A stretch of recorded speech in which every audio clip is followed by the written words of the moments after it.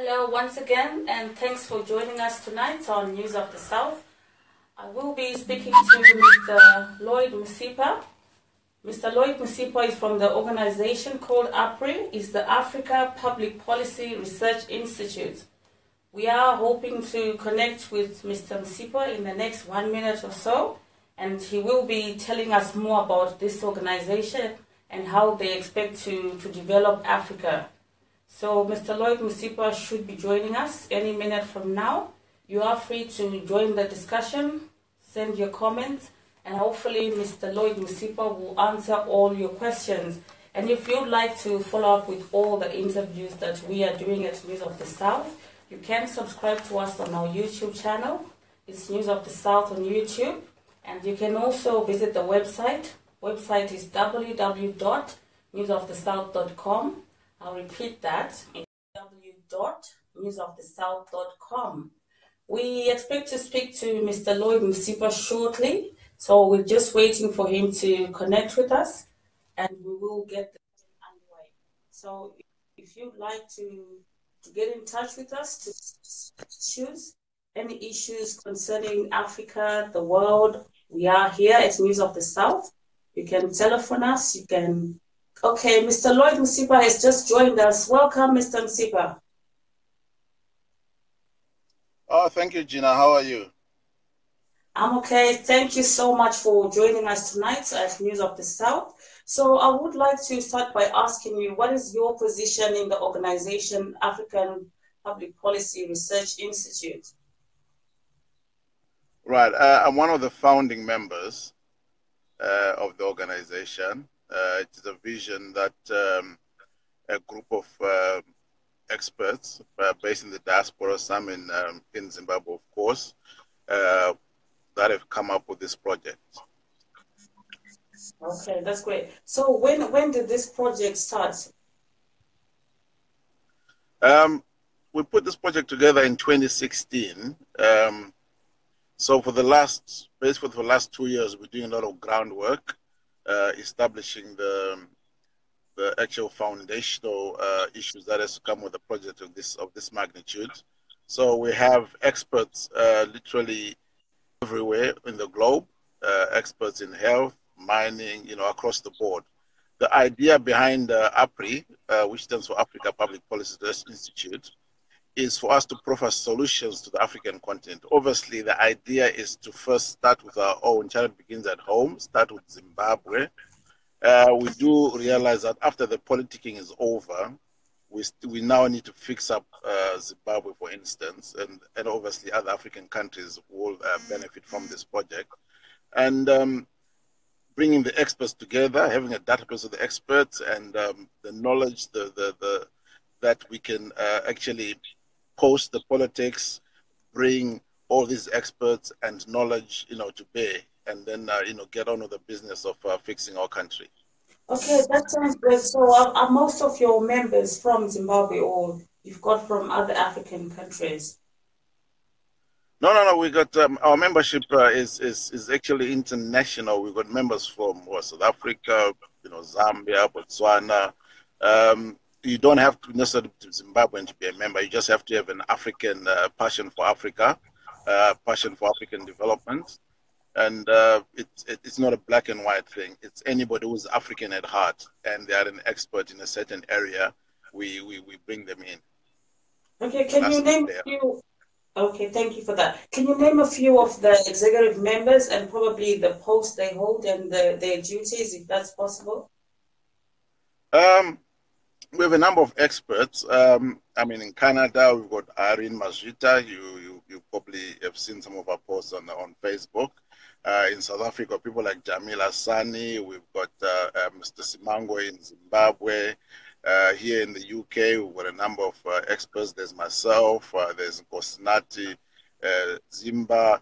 It's it's it's it's it, it is a group of experts. You know, we've got Brighton Chireka. You know, everybody that wants Zimbabwe to move forward is actually on board. It is actually a database of experts waiting to get Zimbabwe working again, and thereafter, you know, moving to the other African countries.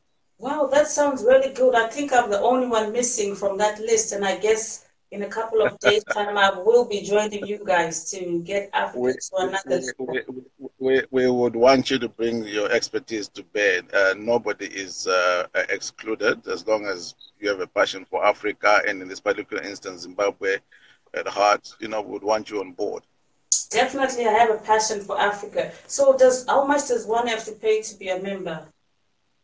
No, we're not charging anybody uh, money for this project. Uh, we, we, we want the passion, we want the expertise. You see, Zimbabweans or generally Africans, um, we have an, we are an educated lot, and what has been happening in the past is that we have ha- we've been outsourcing uh, policy issues to people who are not uh, Africans.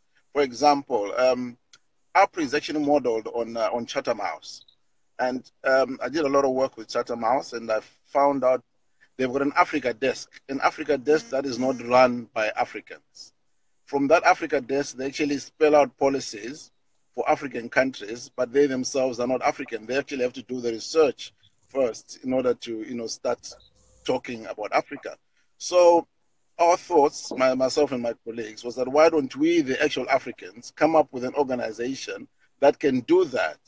Because this, you know, I mean, Africa is ours. You know, it's there's no, it doesn't make sense for African experts to be sitting in, you know, dotted all over the world and not contributing anything, you know, pouring back to Africa or their respective countries, and people who are not Africans are doing it on their behalf. Okay, I agree with you on that one, Mr. Lloyd Msipa. When you look back into history, you find that uh, a lot of books are history books that have been in existence yeah. for the last couple of years were written by non-Africans. They're writing about our continent, and yet we're sitting with our hands folded, doing absolutely nothing. It's only been in the last couple of years where we've seen some some African historians beginning to get pen and paper. That is, that is, that, is, that is exactly that is exactly the issue. Those are the issues we're trying to correct.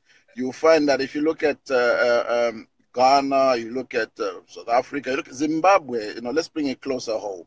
If the history that we had to read, the books were not written by Africans. It's only recently that we have um, Africans actually writing about the history of Zimbabwe and correcting some of the inaccuracies. And it would be better still now that at this stage where we are now, with the knowledge that we have and the experts that we have, will probably write a more accurate uh, version of, of, you know, of our history and, you know, for our children to learn because you find that a lot of people misrepresent what actually happened. For example, if you if, if you watch uh, um, the Zulu movie, for instance, mm-hmm. you know it, it is based on a, on a, on a diary written by a white man during the reign of uh, of King uh, of King Chaka. You see, and the misrepresentations in there. Let's say, for instance, a black man had actually written um, a coherent story about uh, what happened between uh, Chaka Zulu, um, Zilikazi, and the lot, will have a different version of history. So it is important that we look back in terms of history, we correct our history. Uh, in terms of policy issues, we look at what is African or appropriate technology with a twist to, you know, to our own way of doing things.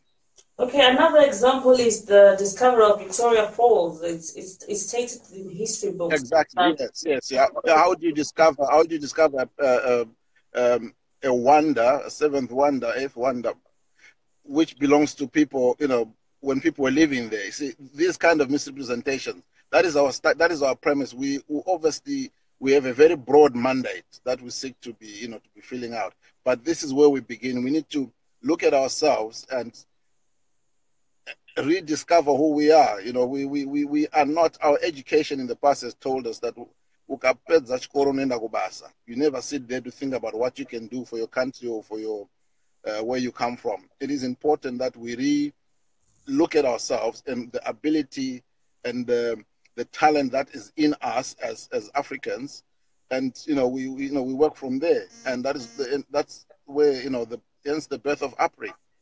That is so true, Mr. Msipa, and I do hope that after this interview, a lot of Zimbabweans out there will begin to get pen and paper and jot down the history. You can talk to your forefathers who obviously know more about um, the historical facts that have not been documented. There are others that have been documented, but the information is not accurate. So, in terms of policies, what policies have you come up with so far? Um, what when we say we've got a database of experts, these experts speak into the various sectors. I'll give you an example. Um, we are primarily going to be focusing on Southern Africa. Uh, so we're talking South Africa, we're talking Botswana, we're talking Zimbabwe, we're talking Zambia and uh, Namibia, those countries. And our membership draws mainly from those countries. And, you know, they're not, are not necessarily in those countries, but they come from those countries. So each grouping, we, we, we subcommittee in sub, you know, committees. Each group looks at the various areas. If we look at Zimbabwe, for instance, what are the issues? Healthcare. We've got a group of experts that looking at healthcare. What are the other issues? Mining, business, um, governance, uh, institutions, the constitution. So we are varied, and this is something that is it's a growing project, and our database is, is, is increasing. We, we, we, you know, we, we, we are looking at all these broad issues with uh, the idea that after the politicking is over, we start, you know, speaking to our countries. Uh, we're engaging uh, the private sector, we uh, engage governments, we engage uh, civic society. Uh, at the end of the day, it's about coming up with strategies that work, you know, for various African countries. I believe after the politics is over, after this particular generation or the last generation, you find that the up and coming generation, the ones influenced by travel and exposure, would want a better Africa, a more a working Africa. So this is where we come in. We we trying to kickstart that process. Okay, talking about membership, how many members do you currently have?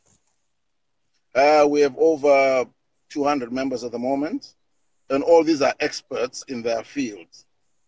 So um, we're not short of people wanting to, you know, to go somewhere with, uh, with you know, with this project. Mr. Msipa, so shall we safely say that APRI is an African think tank? It is an African think tank. Yes, it is an African think tank. Uh, think tank and uh, providing solutions to the African continent. That is it. We, we, we've had in the past uh, think tanks that are not um, homegrown, speaking into policies of, you know, of our respective countries in Africa. The idea here is that with APRI, the difference is that it is run by African experts who are experts in their various fields and speaking with authority in their various fields. That is, that's APRI. Okay, sounds like you're doing a great job there for Africa. Because when we come back to our motherland, Zimbabwe, we've got issues on the roads, we've got health issues there. Why is it that Zimbabweans just talk and criticize and say the government is not doing this, the government is not doing this? But we as Zimbabweans, we are in the diaspora, there are many of us. Is it so hard for us to, to come together and start up a project to fix these roads, to do something about the health system in Zimbabwe rather than wait for the government because obviously it's taken too long for the government to solve these issues. Do you think this is one of the plans that APRI, APRI will be looking into maybe in the not too distant future? Um, we are aware of the fact that we are a very polarized uh, uh, society uh, or, or, people, Zimbabweans. But at some point, obviously, this will end. And uh, there is no way we are going to rebuild a country like Zimbabwe with that polarity in place. It is important that with respect to, to what they are good at. So the polarization will go, the hate, whatever it is, that will go. The elephant in the room is the politics, and that will self resolve. And when that is resolved, you will find that what will be required then now is those experts to now start handling the various policy decisions that the government of the day would, you know, would require. Um, so, civic society, you know, the private sector, uh, all these are um, sectors that would need, you know, the expertise that APRI has managed to put, you know, under one banner, under one house. That is the vision. Okay, thank you so much for that. And if there's anyone out there who'd like to join APRI, Maybe you can give the contact details, how they can get in touch with you. Yes, um, our contact details are on the banner that uh, you advertise there. There's an email address there. Uh, you can ask your questions. You can, uh, you know, tell you, you know, if you are in the health sector, we'll put you together with the guys that are working on the health sector policies, if you're in the business, if you are in the legal, constitutional, governance issues, the various um, uh, disciplines that we are going to need as uh, as as a country, as Africa or as Southern Africa, uh, in order to move forward. Okay, so your first uh, point of call, are you going to be doing something in Zimbabwe, in South Africa? Which country is the first one on your on your agenda? We, we, we are not we are not focusing on, on a single country. Obviously, at this moment, the effort will probably be more on South Africa and Zimbabwe because these are countries that are going through a transition of, of sorts. Uh, we have people working in Namibia, we've got people working in Botswana, and um, and Zambia, Lusaka. So, uh, with respect to, to, to Zimbabwe, uh, we have people working on on the issue of the elections, uh, what uh, the, the, the the fundamentals, what it would take to have you know the election, that the elections going to be free and fair, the BVR issues, um, the constitutional issues, what happens uh, if a certain party win, uh, wins the election and power does not um, transfer all those are issues that you know we're looking at. So when we are able to speak with authority in that area, uh, I think as APRI will be will be very relevant. Okay, in terms of speaking to authorities in different areas, for example, Zimbabwe, South Africa, what challenges do you face? Do you face any challenges at all? Um, I think that the, the challenges are probably uh, minimal as, as soon as they understand who you are and what you seek to do because if if if you are coming in and you are offering to to be part of the solution and not the problem you find that you will get cooperation and we are getting a lot of cooperation from you know governments in in that part of uh, africa there's cooperation from the zimbabwean government got cooperation uh, from the south african government and we will deal with the government of the day we we don't seek to say we'll deal with this particular party we are non-aligned we're a non uh, partisan uh, organization. We will seek to speak to the government of the day, deal with the government of the day, and uh, proffer solutions and proposals with the government of the day. That sounds so good, Mr. Msipa. And before you go, is there anything else you'd like to highlight to talk about before we end this discussion? Uh, well, the only thing I can say is that as Africans, we we we are our own um, liberators. And uh, when I say liberators, in terms of economic emancipation, we will not get anywhere if we continue to outsource the solutions to our country or countries to outsiders. It is time that we took the initiative uh, of sorting out our own um, issues, looking at our own politics, looking at our own governance issues, looking at our own economics, health issues, um, only then can we say to ourselves, you know, we, we you know, we, we know what we're doing now. We should stop the moaning, we stop the crying. I understand we've got issues in terms of politics, but that will come to pass. And we must be ready, you know, to hit the ground running when all that resolves itself. There you go, Zimbabwe, Africa. Some words of inspiration from Mr. Lloyd Msipa from the Africa Public Research Institute. And I do hope you have listened and You've benefited a lot from this discussion, and I'm hoping that Mr. Msipa, you will see more members joining you. Oh yes, thank you very much. Yes, we, we, we, we, we are getting a lot of support and a lot of inquiries on what we are doing. So uh, we are happy. I think we're going somewhere with this. Thank you so much for joining us at News of the South, and we do hope to join you in the not too distant future where we can um, talk about your progress and where things are going. Thank you. Thank you very much. Uh, have a good evening. Thank you.